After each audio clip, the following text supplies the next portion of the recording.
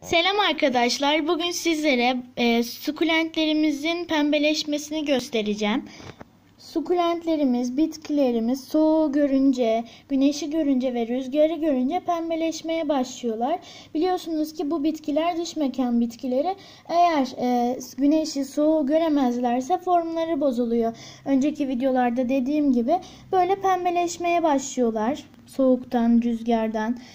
Gece e, gece soğuğu görüyorlar, sabah güneşi görüyorlar. Şöyle bakın şu kırmızılaşmış.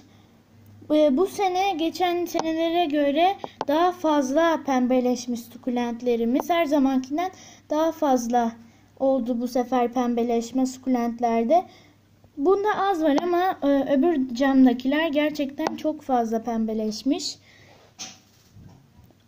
Sedumlarımız bile pembeleşmiş yani kırmızılaşmış biraz. Saksılarımızın yerini değiştirdik. Yine kar uyarısı, kar uyarısı var ama bilmiyoruz ne yapacağımızı. Aldık saksıları ama hatırlarsanız bu bitkimiz, bu bu, bu saksımız e, balkonumuzdaydı, yer değiştirdi. Şöyle şunu göstereyim. Kamerada tam netlemiyor ama ger yani gerçekten kırmızılaşmış, pembeleşmiş. Sedum palmerimiz.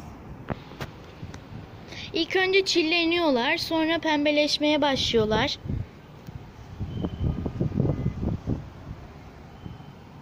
Şöyle göstereyim size.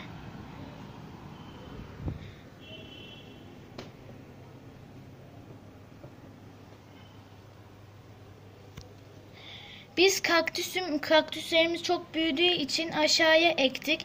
Ee, çok dikenli olduğu için bizim bize de zarar veriyordu.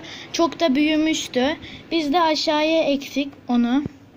Meyveliydi. Kırmızı meyveleri vardı. Öbür videoda göstermiştim sizlere.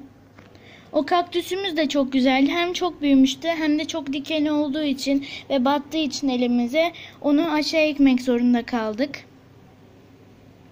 Bakın dediğim gibi güneş alıyor şu an.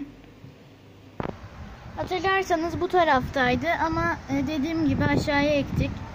Şöyle burayı da göstereyim. Saksılarımızın yerini değiştirdik balkondan aldıktan sonra. Rüzgarlı bir hava var. Gerçekten çok güzel bir rozet. Avizeden yapmıştım. Abimin odasındaki avizeden yapmıştık aranjman. Şöyle buradakileri de göstereyim sizlere.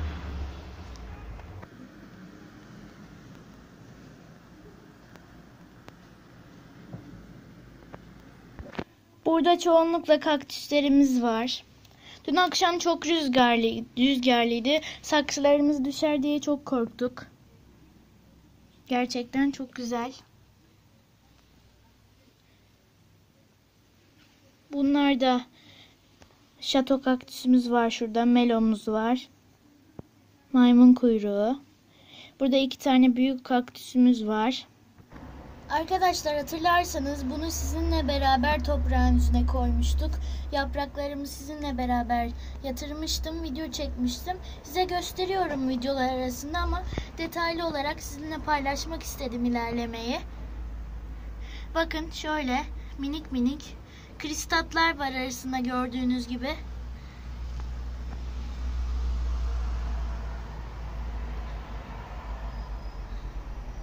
Şöyle bunları da göstereyim. Şurada bir kristat var. Kristat bir yapraktan çoğunlukla bir türgen bozukluğu, e, iki, iki başlı, üç başlı yavrular çıkması. Burada Arap saçı bitkimiz var. Bunu Instagram hesabımızdan paylaşmıştım. Gerçekten çok güzel olmuş renki. Bu arada Instagram hesabımız da Yeni Hobi 2010 takip edebilirsiniz. Orada da bitkilerimizi gösteriyorum. Bakın şu da çok güzel açmış. Burada bakın şu bile yavaş e, yani az kızarmış. Evet arkadaşlar videomuzu izlediğiniz için çok teşekkürler. Eğer videomu beğendiyseniz beğenmeyi, abone olmayı unutmayın. Görüşmek üzere.